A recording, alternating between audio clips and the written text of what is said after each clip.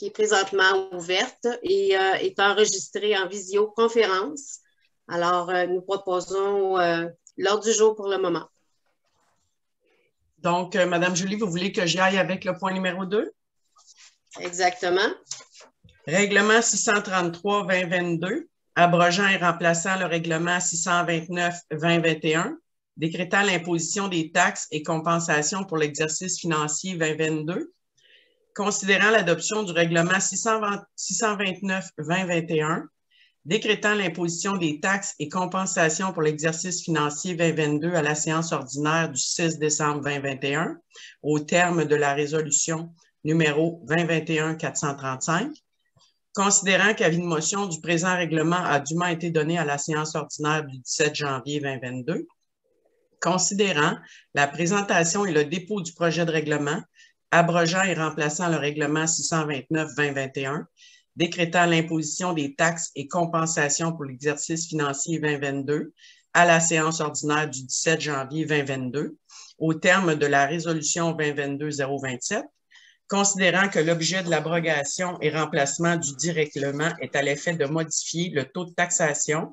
qui a été adopté à la séance du 6 décembre 2021, considérant que la secrétaire trésorière a convoqué une séance extraordinaire concernant l'adoption de ce règlement, puisque la municipalité de Chelsea doit, dans un délai très rapproché, procéder à l'envoi des comptes de taxes et qu'il y a lieu de statuer sur la portée de ce règlement, considérant qu'en conformité avec l'article 142 du Code municipal du Québec, la mairesse a exercé son droit de veto sur la résolution numéro 2022-032, adoptée à la séance extraordinaire du 20 janvier 2022, et qu'en conséquence de cette résolution est de nouveau soumise à la considération du Conseil municipal.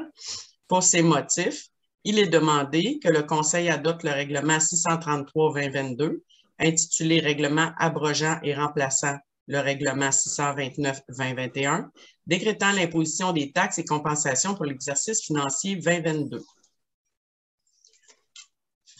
Alors, euh, ça me prend un proposeur dans ce, dans ce dossier-là.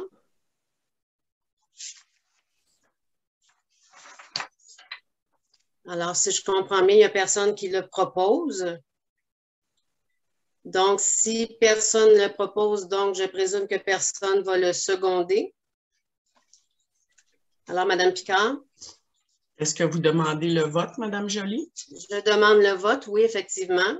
District numéro 1, Jean-Guy Thibault. Contre. District numéro 2, Annie Bastien. Contre. District numéro 3, Richard Etu. Contre. District numéro 4, Jonathan Théoret. il n'y a pas la. Votre micro est fermé, M. Théoret. Il faudrait que M. Geoffroy lui euh, donne le... la possibilité d'ouvrir son micro. Voilà. Donc, euh, la lumière euh, d'information nouvelle à propos de l'état du surplus cumulé vraisemblable, donc contre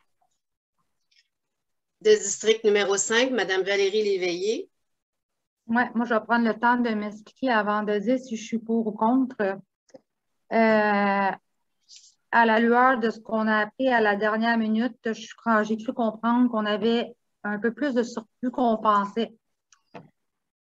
Euh, j'ai entendu les citoyens toute la fin de semaine, je vous ai lu, je vous ai entendu. Et euh, j'ai respecté tout ce que les citoyens ont choisi. J'ai pris le temps de regarder la politique culturelle de M. Solomon et de M. Robert Lacombe qu'ils avaient fait eux-mêmes en 2015 et ils avaient vu un.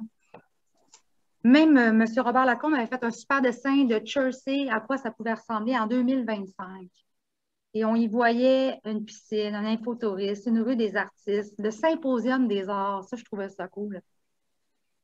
Et j'ai vraiment tout lu au complet. Et à la lueur des dernières nouvelles que j'ai apprises à 6h15, euh, je vais voter contre. Parfait. Et le district numéro 6, M. Sylvain Lévesque?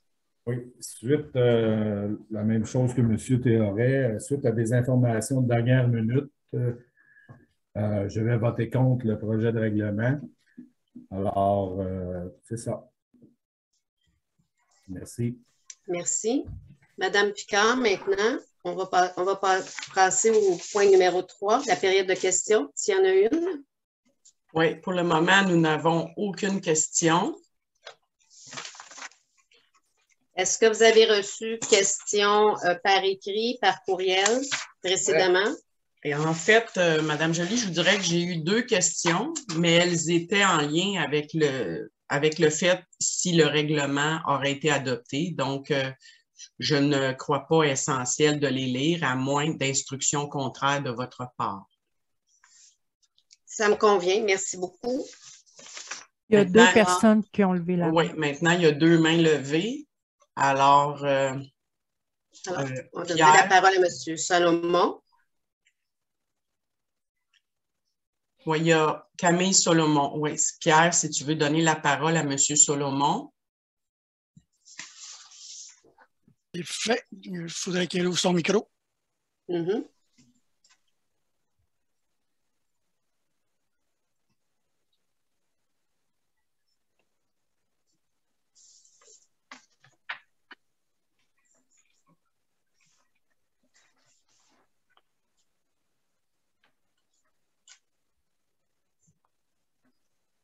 Monsieur Solomon, vous pouvez ouvrir votre micro, s'il vous plaît.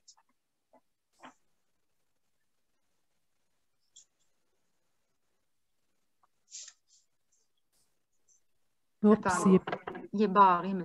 Salomon. Allez-y, M. Salomon. Est-ce que vous m'entendez maintenant? Oui, oui, je vous entends très bien. Oui. Bon, alors, alors, je constate que depuis lundi dernier, il y a eu une évolution au sein du Conseil. Je me souviens que je vous avais demandé au Conseil, je vous avais suggéré au Conseil de trouver une façon de vous retrouver et de, de, recentrer votre vision. Les agendas politiques euh, se sont, euh, sont passés au mois de novembre 2021. La municipalité est dans un état presque d'urgence et je constate que vous avez effectivement collectivement réfléchi. Ma question ce soir, c'est est-ce que on peut compter sur, comment dirais-je, un, un, regroupement des membres du Conseil pour faire en sorte qu'on avance. La problématique des taxes, je vous avais souligné la semaine dernière que le fonds de réserve de la municipalité était suffisamment considérable pour pouvoir euh, regarder les augmentations de taxes à la lumière des, moyens de la municipalité sans pour autant procéder à des excentricités. Pour ce qui est de ce qui a été discuté la semaine dernière concernant l'agenda de l'ancien conseil, de l'ancienne équipe. Je vous rappelle que vous êtes en 2022, que nous sommes dans une évolution extrêmement accélérée avec la COVID et que les objectifs que, vous, que nous avions, que le conseil avait avant 2022 sont caduques et que vous avez la responsabilité de faire en sorte qu'une fois que vous aurez réglé la problématique des taxes, à savoir que les citoyens ne seront pas surchargés par un fardeau fiscal, euh, qui va faire en sorte que vous avez des saisies de maisons qui sont inutiles, qui sont injustifiables, des arrérages de taxes qui sont inacceptables non plus, mais ils sont dus probablement au fait que les citoyens sont dans une situation précaire sur le plan économique. Donc, je vous disais la semaine dernière, je m'excuse, vous n'êtes plus à business as usual, vous êtes dans un mode intervention de règlement des situations actuellement, les eaux du village, la régénération des, des, barrages, bref, et euh, faire en sorte que la municipalité puisse avancer. Alors donc, euh, je suis content de voir que ce soir, vous avez évolué quand même quant aux taxes. Maintenant, pour la suite, il en tient à vous. Il n'en tient qu'à vous. Merci, M. Solomon. Nous avons d'autres mains levées, Mme Picard. Oui, M. Euh, Michel Robidoux. Monsieur Fauvel, est-ce que je peux intervenir? J'étais le deuxième en liste. Oui, bien, si vous, mm-hmm. vous, comprendrez que je ne respecte pas toujours le, deuxième, troisième, compte tenu que je tente de suivre, mais allez-y, M. Fauvel. Bonjour. Bonjour à tout le monde. Je vais être très rapide. Je suis propriétaire à Chelsea depuis très, très longtemps. Ma famille avant moi, depuis les années 50. Euh, je vais démarrer ma vidéo, bien sûr. Nous avons reçu un mauvais lien, donc je me suis branché avec six ou sept minutes de retard. Pardonnez-moi. Je veux bien comprendre et je pense que ce serait important pour tout le monde parce que vous avez un jargon légal, bien sûr, et municipal. La dernière, le dernier projet de règlement qui a été à six personnes voté contre est-ce que c'est bel et bien une, un ajustement des, de l'évaluation qui aurait fait en sorte que le compte de taxes aurait eu une très forte augmentation cette année. S'il vous plaît, est-ce que quelqu'un peut mettre la lumière là-dessus? Parce que nous, les citoyens, ne sommes pas dans les dossiers comme vous et euh, on a à l'occasion de la misère à suivre les, le libellé, disons, plus juridique là, de la municipalité. Est-ce que quelqu'un pourrait bien répondre, s'il vous plaît, pour l'ensemble des citoyens qui sont présents ce soir? Merci. En fait, je vais laisser. En termes clairs, bien sûr. Alors, Madame, Madame Paquette, je vous cède la parole pour expliquer ce qui s'est passé avec euh, le règlement qui avait été approuvé le 6 décembre concernant le taux de taxation et ce qui s'est passé entre-temps et euh, la décision de ce soir.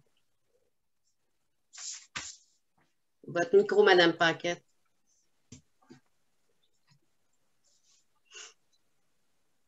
Au 31, euh, au 31, au mois de décembre 2021, le Conseil avait majoritairement voté pour un, règlement de taxation, dont, entre autres, le règlement avec une diminution de la taxe foncière générale de 10 sous environ. On 10 sous et quelques. Euh, maintenant, au mois de janvier, euh, le Conseil a voté majoritairement pour euh, modifier le, taux de taxation qui avait été adopté en décembre de façon à ce qu'il y ait non pas une diminution du taux de taxe de 10 sous, mais une diminution du taux de taxe de 5 sous. Euh, ce soir, ce qui vient de... Ben, Madame, la semaine dernière, à l'adoption du règlement de façon majoritaire, Madame la mairesse a déposé son droit de veto. Ce que ça fait, c'est que ça l'a reporté à aujourd'hui l'adoption de ce règlement-là. Donc, on redépose ce soir le règlement avec une diminution du taux de taxe de 5 sous par rapport à l'année 2021.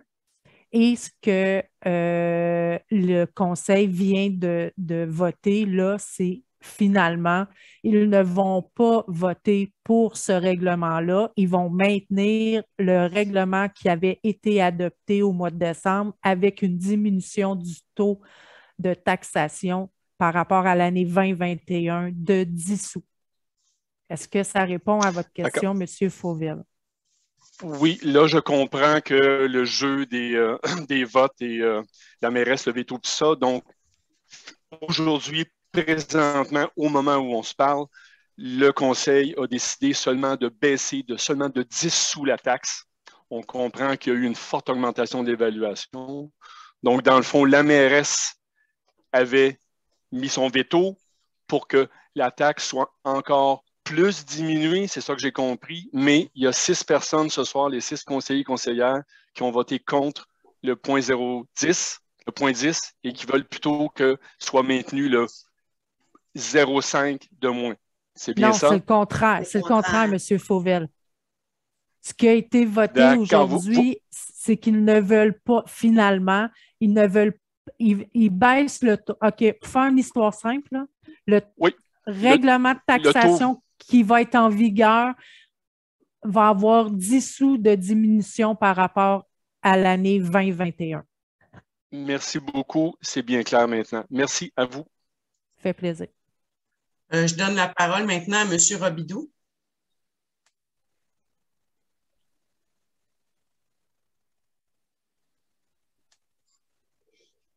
Votre micro, M. Robidoux.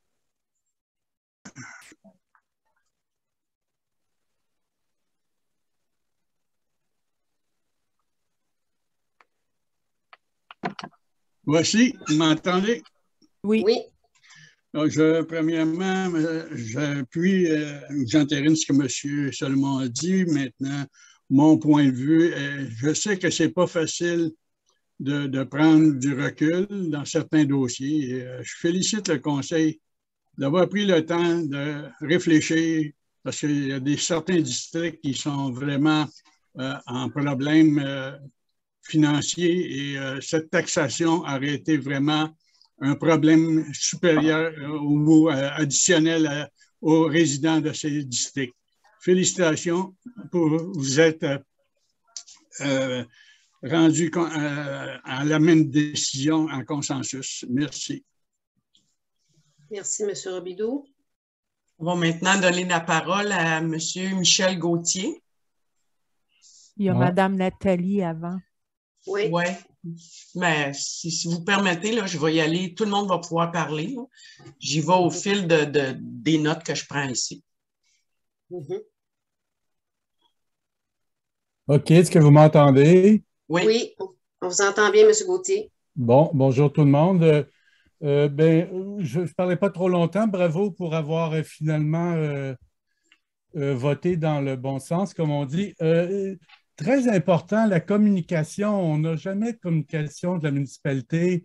Ça fait des années que je demande qu'on reçoive un courriel. on le recevait avec, avec le COM euh, le communicateur avant, on n'en reçoit plus. Et là, il a fallu que j'aille sur Facebook. J'ai reçu par Diane Shannon, finalement, le lien ne fonctionnait pas, comme disait M. Fauvel tout à l'heure.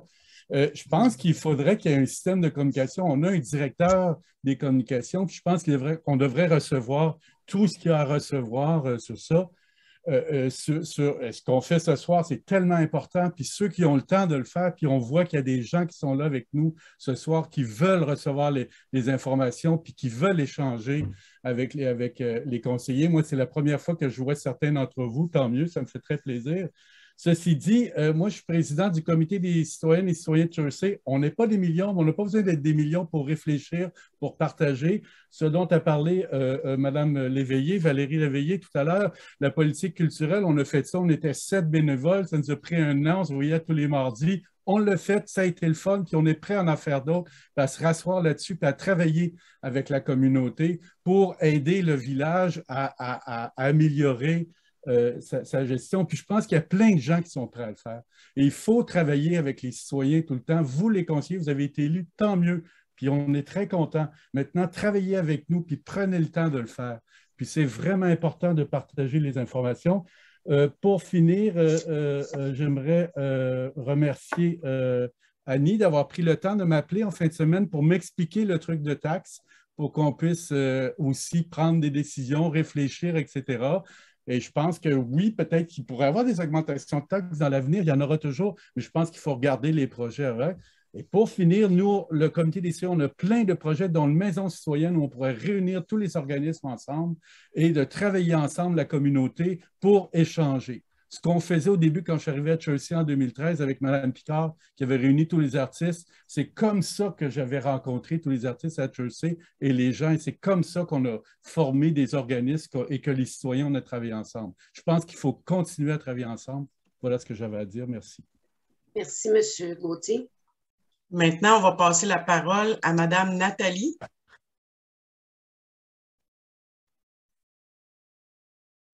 Audio. Bonjour. Bonjour. Bonjour. Euh, je suis contente de, me joindre parmi vous.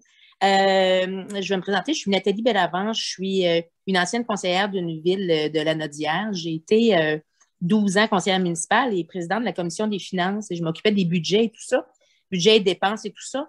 Et j'ai été attirée un petit peu par, par les réseaux sociaux, par des gens qui habitent à Chelsea. C'est sûr qu'on est venu me tirer l'oreille par rapport à ce qui se passait à Chelsea et avec beaucoup d'intérêt. Euh, nous habitons Chelsea en maison secondaire depuis déjà quatre ans, voire proche cinq ans.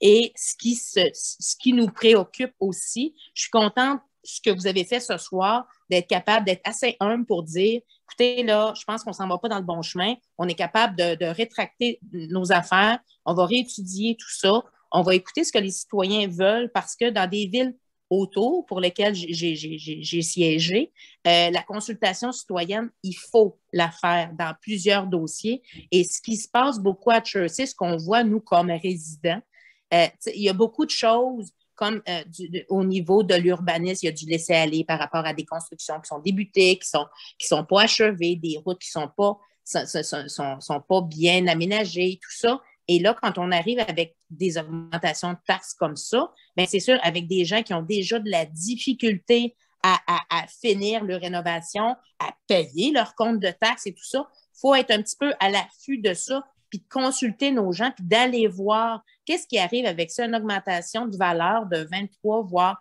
plus pour cent par année, qu'est-ce qu'on veut faire avec notre budget de ville? c'est sûr que vous, en tant que conseiller et Madame la mairesse, de voir qu'est-ce que, la population souhaite pour leur ville, vers où on veut aller évoluer, vers où, on va mettre de l'énergie? Parce qu'on s'entend, on, est tous des gens qui, qui, qui, ont la volonté que ça aille bien, mais quand on, prend part des réseaux sociaux, euh, voir les journaux, voir plein de choses, puis on, se parle de un à l'autre, ben, on se rend compte qu'il y a des petites difficultés qu'on vit. Puis avant d'aller investir dans des grosses infrastructures, je pense qu'il y, a des choses de base pour lesquelles on doit s'asseoir, comme par exemple les routes, comme par exemple, on a des chemins privés, euh, il y a des, des, constructions qui sont délabrées un petit peu pour lesquelles il faudrait lui donner un petit coup de pouce ou du moins faire un clin d'œil pour dire, écoutez, là, il faut, faut avancer là-dedans.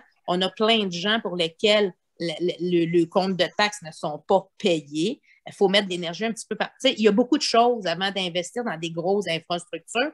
On va en avoir besoin, mais il faut attirer des gens à venir chez nous.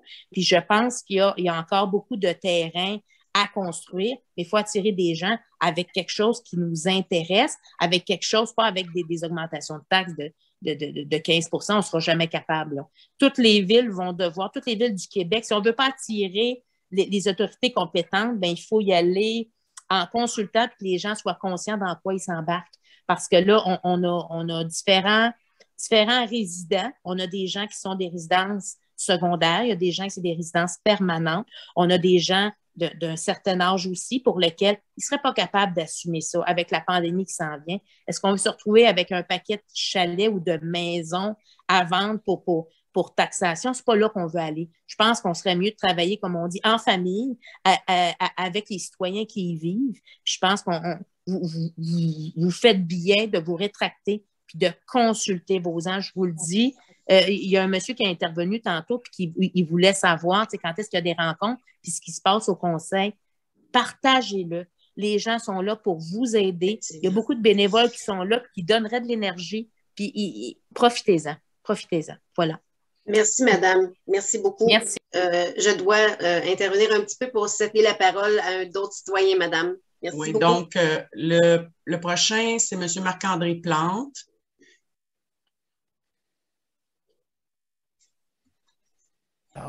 Bonsoir, vous m'entendez bien? Oui. Mm-hmm. Oui, alors bonsoir à tous. Je vais être plus bref que la dernière fois, la séance extraordinaire. Euh, je veux tout d'abord euh, saluer la décision unanime des membres du conseil municipal ce soir là, de revenir à la décision originale de, baisser le, donc le taux de taxation de 10 sous considérant la croissance moyenne euh, des valeurs foncières de 23% pour le nouveau rôle d'évaluation. Euh, je pense que c'est la meilleure décision dans les euh, circonstances et je suis heureux ce soir de voir que c'est aussi une décision qui a été prise unanimement par tous les membres du Conseil. J'espère que ce sera aussi le début d'une succession de décisions consensuelles au sein des membres du Conseil municipal. Euh, je réitère un aspect que je vais souligner à la séance extraordinaire de jeudi dernier, euh, l'importance que le Conseil se dote d'un plan de match, euh, soit d'un plan stratégique au cours des prochaines années. ça me paraît important que le Conseil ne, ne, gère pas de séance en séance du Conseil, mais plutôt se donne un plan de match consensuel. Je pense que tous les citoyens vont le souhaiter à Chelsea. Alors, merci à tous. Euh, d'avoir euh, mis un peu d'eau dans son vin, d'avoir trouvé les meilleurs compromis dans les circonstances. Et euh, je salue tous et chacun. Alors, Marc-André Plante, je suis un résident, résident secondaire ici à Chelsea, je suis au 785 rue Joffre. Et je découvre que juste moi qui donne son adresse à Chelsea, mais bon, je, croyais que c'était la norme alors. Merci. Bonne soirée. Merci. Merci, M. Plante. Donc, maintenant, la parole est à M. Francis Morin. Oui, bonjour. Bonjour. Bonjour. OK, vous m'entendez? oui, très bien. Bon, OK, ben là, je pense que tout le monde me connaît pas mal à Chelsea, M. Lévesque, Mme Valérie Léveillé, Annie. Je veux juste vous dire une affaire. Pour une, madame de 90 ans qui chauffe encore son poil, je suis fier de vous autres en tabarnane. Là, vous êtes du vrai monde de Chelsea.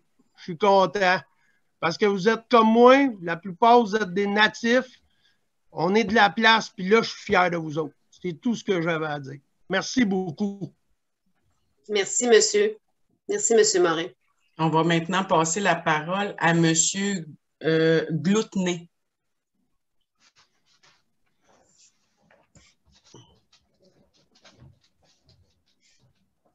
Oui, bonjour. Euh, m'entendez-vous? Je ne suis pas capable d'activer mon vidéo, mais ce n'est pas grave parce que vous m'entendez. Oui, je Euh, vous entends très bien.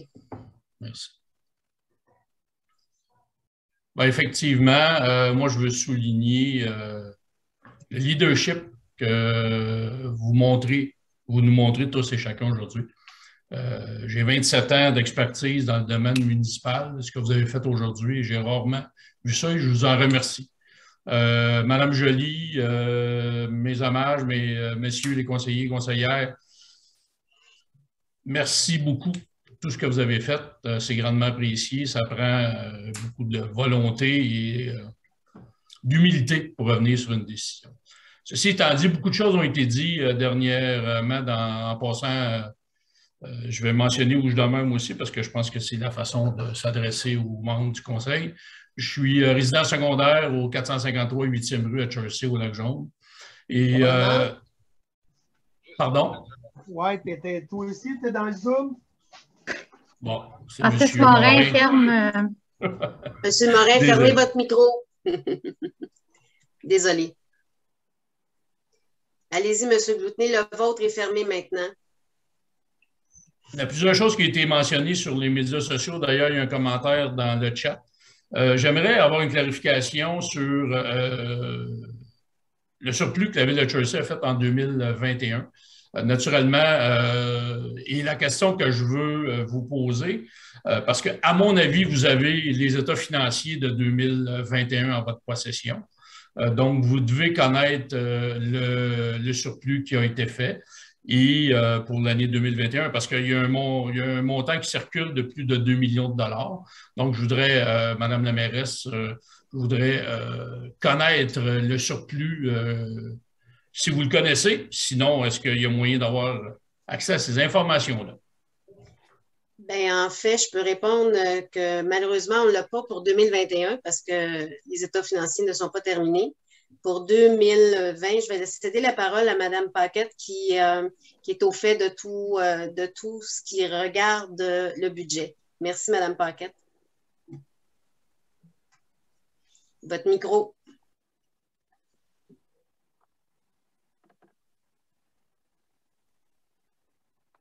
Votre micro.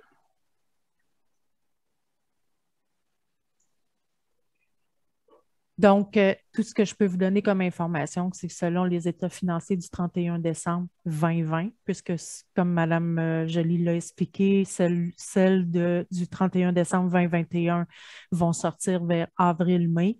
Euh, mais si on regarde le surplus au 31 décembre euh, 2020, ce qui est indiqué de mémoire, c'est un peu plus de 3 points, dans les, dans les alentours de 3,5 euh, millions. Merci Euh, je pour l'information. 2020, je l'avais, mais ceci étant dit, euh, vous nous avez dit d'entrée de jeu que certains d'entre vous ont eu l'information à la dernière minute. Vous on parle d'un déficit, on parle d'un surplus, euh, pas, pas d'un déficit, mais d'un surplus. J'imagine que vous vous êtes basé sur quelque chose pour vous donner le surplus. Je pense que, euh, je ne me souviens pas, un des, des intervenants tantôt parlait de communication. Je pense que vous, aurez, vous auriez intérêt à faire connaître rapidement surplus de la ville de Churchill 2021. C'est comme ça, c'est s'il y en a un, parce que présentement, on est dans des candidatures. Il va être connu euh, quelque part en avril-mai. Les états financiers sont toujours. euh, il y a une date pour euh, au euh, maximum pour laquelle ils doivent être déposés par les auditeurs. Donc, euh, c'est normal, là, les états financiers sortent toujours dans le coin du mois d'avril. Et pour Mais votre là, est-ce que- information, est-ce il y que avait Oups, excusez, Mme Paquette. Pour votre information, M. Boutney, euh, le- la, firme de comptable est venue présenter le budget. euh, C'était en présentiel à l'Église lors d'une séance et tout avait été bien expliqué à la population. Euh, évidemment, il faut avoir les chiffres en main pour être capable de vous les divulguer. Donc, euh, à chaque année, la firme comptable, on, on donne l'information à nos citoyens en temps et lieu.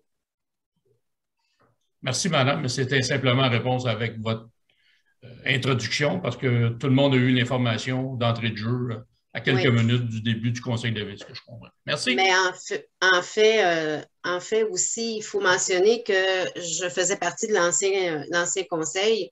Il y a des projets qui étaient euh, importants et qui, qui, ont été retardés malheureusement pour euh, plusieurs raisons. Donc, c'est pour ça qu'on est en surplus présentement, c'est qu'il y a des projets importants qui n'ont pas été réalisés au cours du dernier mandat.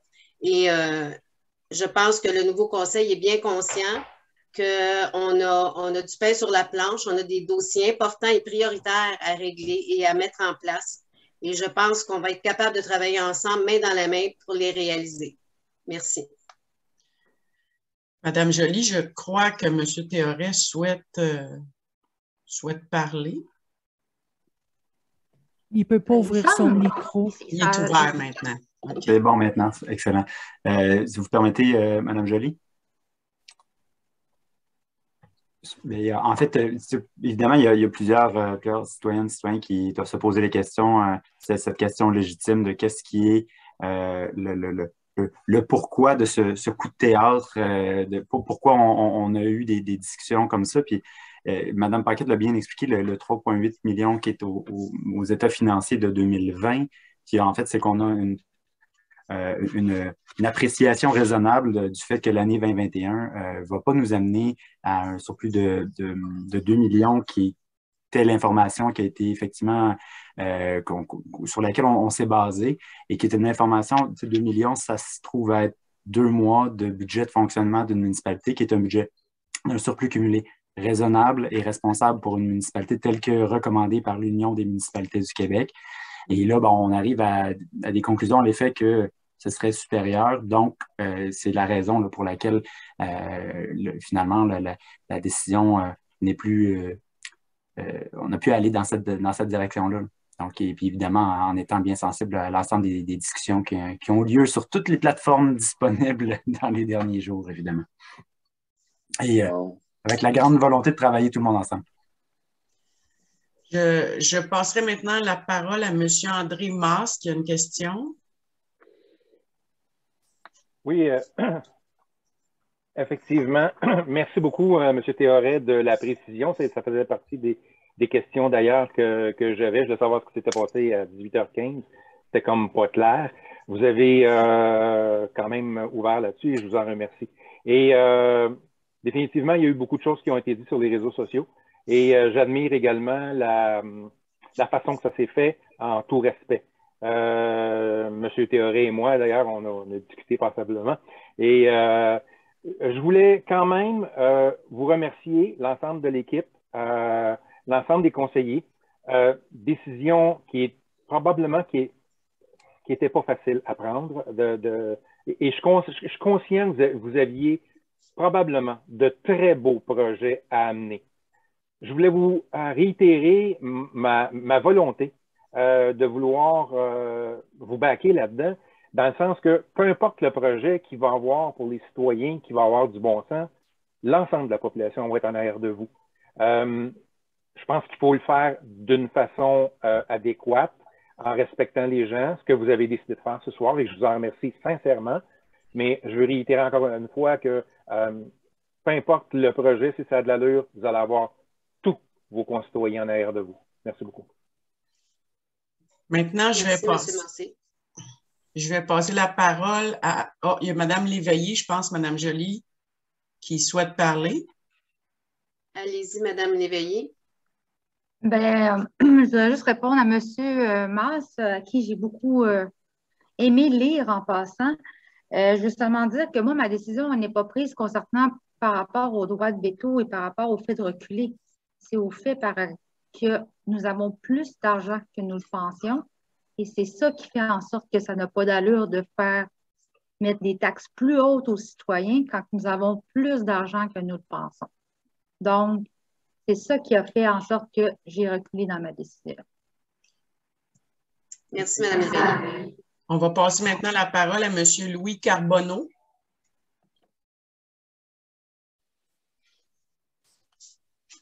Monsieur Carbonneau, votre micro, s'il vous plaît.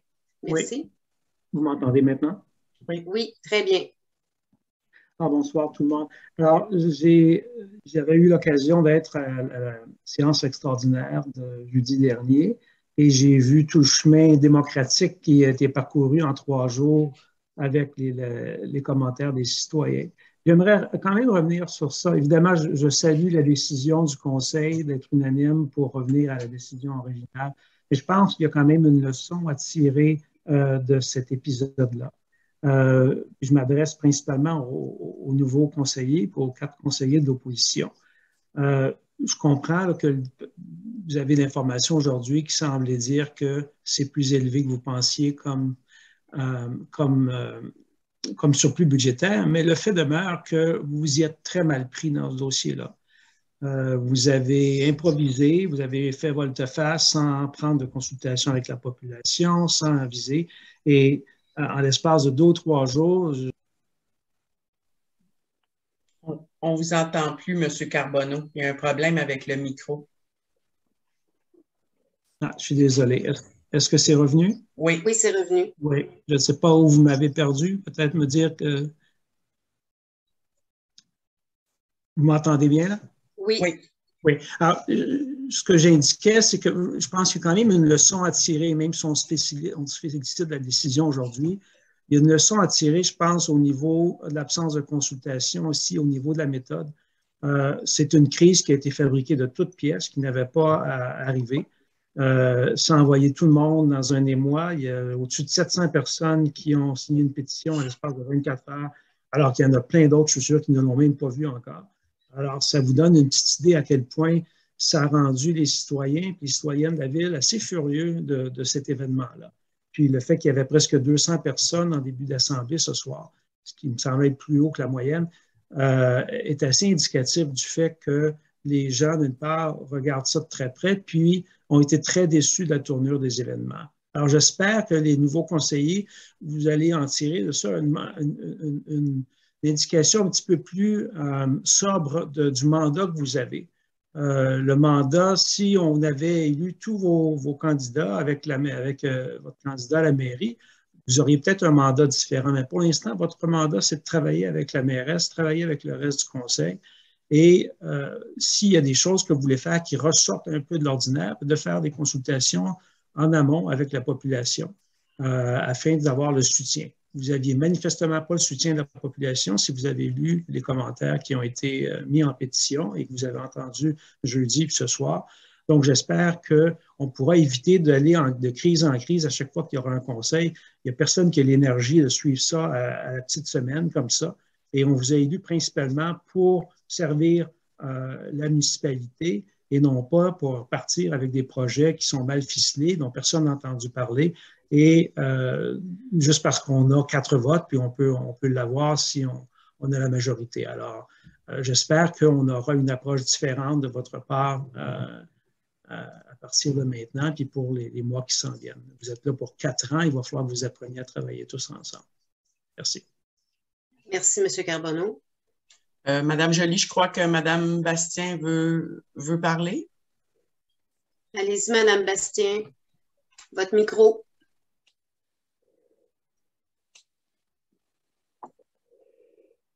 Bon, merci beaucoup. Euh, je voudrais répondre à M. Carbonneau.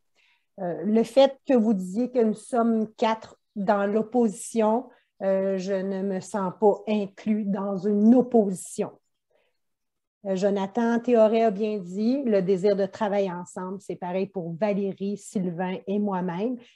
Jean-Guy, Thibault, ainsi que Richard, nous sommes le conseil avec Mme Joly. Donc, il n'y a pas d'opposition à Chelsea.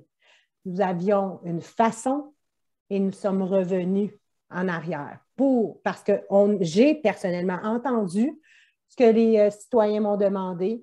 Euh, j'ai euh, parti un message sur Facebook, j'ai été répondu et croyez-moi, travailler avec les citoyens, c'est mon but premier. Puis je pense que je peux parler pour tout le monde en même temps. Merci à vous. Merci, Mme Bastien. Maintenant, nous avons une question de Camille 9400. Oui, bonsoir. Oui, bonsoir. Euh, Michel Caron, donc, euh, Camille pour euh, Caron Michel. Donc, j'habite à Chelsea depuis une quinzaine d'années, ben, depuis 15 ans, au 93 rue Jasper Nord.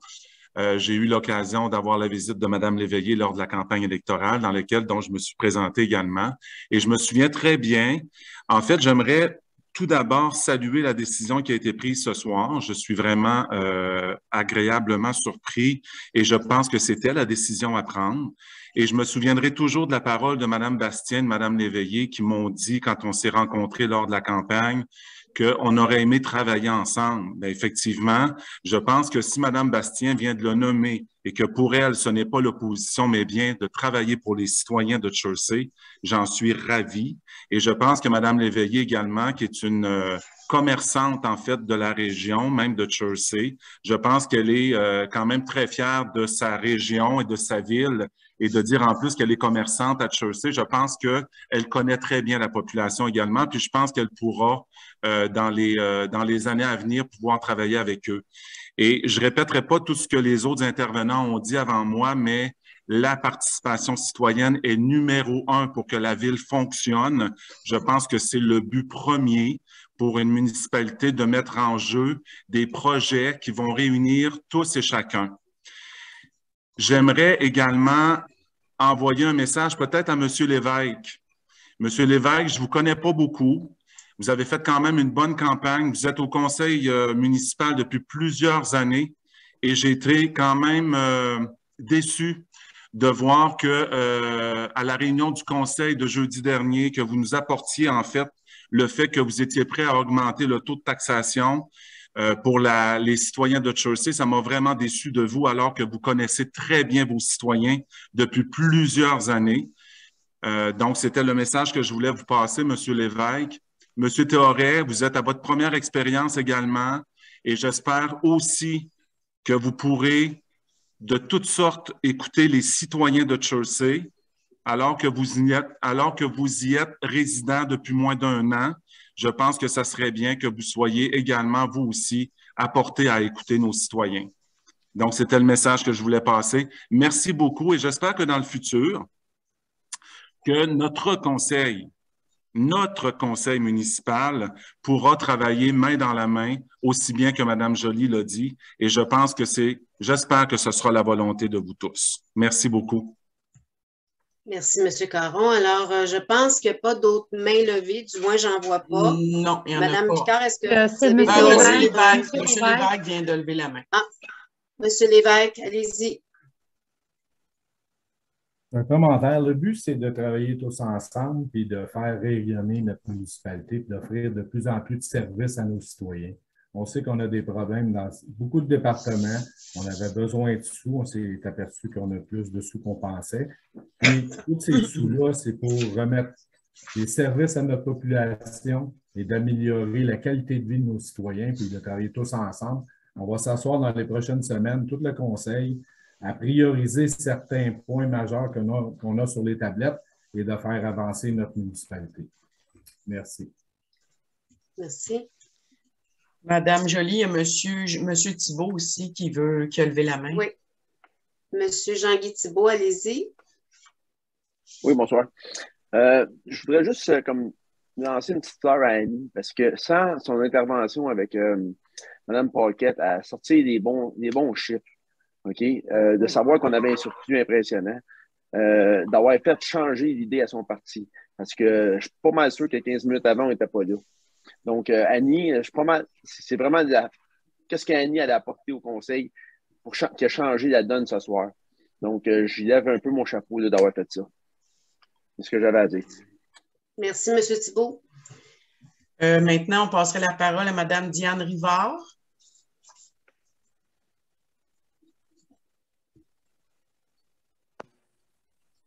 Oui, bonsoir. Je suis une résidente secondaire euh, du 111 rue Saint-Don au Lac-Jaune. Euh, moi, depuis tantôt, j'entends moins 5 cents, moins 10 cents, mais concrètement, notre taxe municipale va augmenter de combien de pourcentage pour 2022? Combien de pourcentage ça pourrait représenter? Parce que là, ce que je comprends, c'est qu'il y a moins de cents, mais ça peut être une augmentation de taxes quand même? Bien, en fait, Madame Rivard, euh, si je peux me permettre, c'est sûr qu'à cause du rôle triennal, euh, tous les immeubles ont été évalués euh, par la MRC, puis il y a une augmentation moyenne, mais c'est très difficile de mettre un chiffre exact de pourcentage parce que c'est une augmentation moyenne. Alors, ça dépend de l'évaluation. Votre évaluation va sortir à tel montant d'évaluation. Donc, c'est difficile à dire qu'on ne peut pas généraliser, mais on vous dit que oui, il y a une, augmentation moyenne de l'évaluation municipale de 23% en moyenne, alors que dans certains cas, les évaluations vont rester telles quelles. Dans d'autres, il y en a qui vont peut-être diminuer, mais il y en a d'autres qui vont augmenter. Alors, euh, à moins que Madame, Madame Paquette, avez-vous une euh, une autre réponse à donner en complément?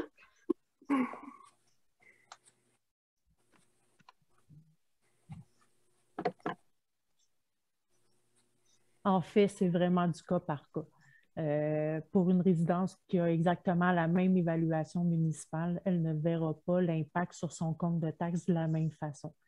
Euh, celui qui va avoir une plus grosse augmentation de l'évaluation municipale va subir une plus grosse augmentation sur son compte de taxes que celui qui n'aura pas subi d'augmentation. Euh, celui qui n'aura pas subi d'augmentation d'évaluation municipale va voir son compte de taxes diminuer.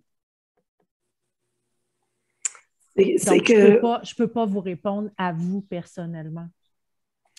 Mais l'augmentation de taxes, de compte de taxes n'est pas le même pour tout le monde, comme par exemple à la ville de Montréal, où il annonce 2,8 ou je ne sais plus trop d'augmentation de taxes, et Québec euh, dans ces eaux-là. Je ne comprends pas pourquoi vous ne pouvez pas annoncer une moyenne. Parce que 23% on s'entend que celui qui va avoir une augmentation à 23% quand on paye déjà 3600 pièces qu'on n'a pas de réseau d'égout, puis on n'a pas d'aqueduc, vous comprendrez que c'est des taux, nous en tout cas, on paye des taxes similaires ou pas beaucoup inférieures à celles de Montréal. C'est quand on entend une augmentation de 23% alors que Montréal annonce une augmentation de autour de 2, je ne me rappelle plus du chiffre exact, ça n'a pas de sens. Non, parce que vous, on ne parle pas du même pourcentage. Non. Le 23% c'est l'évaluation. Nous, on est dans un dépôt de rôle triennal, c'est-à-dire qu'ils ont réévalué l'évaluation municipale des résidences. C'est de là qu'on dit qu'il y a eu une moyenne, il y a une moyenne de, de 23% d'augmentation. Exemple, une maison qui valait 100 000, aujourd'hui, elle va valoir en moyenne 123 000 mais ça n'a aucun rapport avec le taux de taxe. À Montréal, s'ils ne sont pas en rôle triennal, comme nous, quand on n'est pas en dépôt de rôle, oui, je suis capable de vous dire que votre compte de taxe va subir une augmentation de 3% Mais là, le taux de taxe, nous, on l'a diminué. Montréal, ils ont mis une augmentation du taux de taxe de 3% Nous, à HEC, ils ont diminué le compte de taxe de 6% de, le, pas le compte, le taux de taxe ils l'ont diminué. Euh, exemple de 6% je n'ai pas les chiffres par cœur, euh, mais l'impact que ça va avoir sur votre compte de taxes, on est, on est transparent. ce qu'on vous dit, c'est que vous n'allez pas nécessairement avoir une diminution de votre compte de taxes de 6 c'est ça que j'ai compris, oui. Que ce serait pas probablement une augmentation plutôt qu'une diminution? Bien, ça dépend, comme je vous dis, ça dépend si vous avez subi ou pas une augmentation. Moi, ce que je vous dis, si votre maison valait 200 000 puis qu'aujourd'hui, elle vaut encore 200 000, vous allez, vous, personnellement, vous allez subir une baisse de, votre compte de taxes.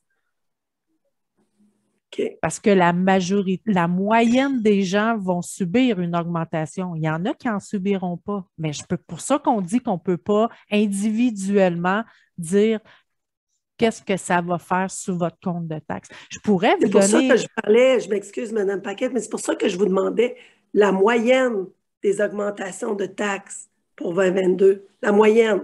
Vous devez certainement avoir des, euh, des prévisions pour ça. Euh, c'était quoi la moyenne des, des, augmentations pour, les, pour 2021, par exemple? L'augmentation en, en 2021, la moyenne était de 2% quelque chose du. Ah non, l'année passée, on n'a pas. euh, en 2021, il n'y a pas eu d'hausse de, de, de taux de taxe. On a gelé le, co- le- le taux de taxe. Il y a eu 0% d'augmentation. D'accord. Puis l'année d'avant? Ben là, euh, je ne sais pas par cœur.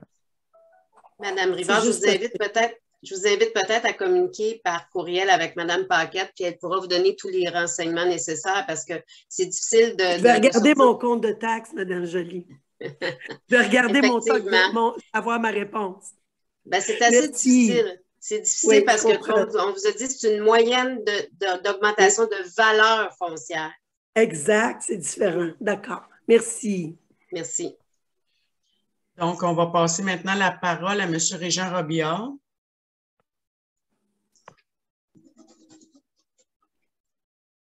Oui, bonsoir. Est-ce que vous m'entendez? Oui. Oui, on vous entend bien. Bon, voici. Euh, si je regarde le- l'évaluation, les évaluations ont augmenté dans Jersey de l'ordre de 23% En moyenne. Euh, en moyenne. Et puis, il n'y a pas personne qui peut se plaindre de ça parce que, suivant l'évaluation qu'on avait sur nos propriétés, il n'y a pas grand monde qui voudrait vendre juste 23% de plus que l'évaluation qu'il y avait. Fait que là-dessus, c'est une chose qu'on doit comprendre, qu'on doit accepter. Euh, par contre, pour mon information, euh, je me souviens de la réunion du 20 où Mme Paquette nous donnait l'exemple d'une maison qui valait à peu près 161 000. Euh, si on rajoutait le 23% la maison arrivait à peu près à 198 000.